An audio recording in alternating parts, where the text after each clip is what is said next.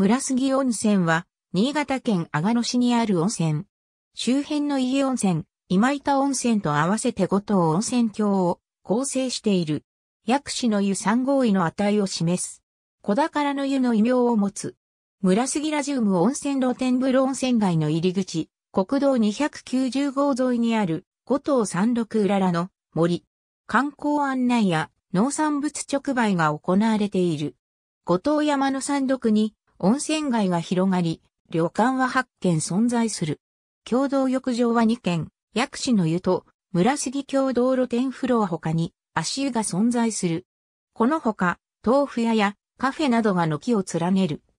北側の今板温泉と挟んで立地する五島三六、浦ららの森は五島温泉郷の拠点施設となっており、観光情報発信、農産物販売、隠し体験イベントのほか、レンタサイクルが実施されている。平家湯は1335年である。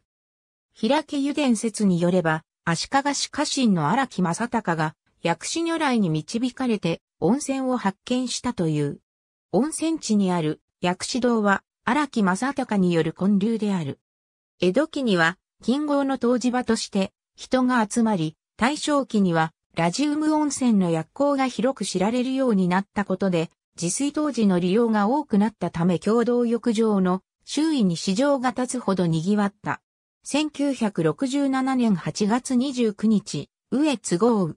集中豪雨により、防流間の裏山が崩れ、たまたま投縮していた佐藤義夫一家が巻き込まれて死亡した。村杉ラジウム温泉露天風呂は、温泉地を振興しようというテレビ番組の企画で2002年に作られた。制作に際して松田忠則が監修をしている。阿賀野市営バス、村杉温泉停留所。水原駅、久子湖方面の路線がある。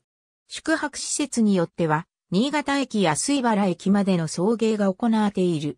その他公共交通でのアクセスは2021年5月時点では以下の通りである。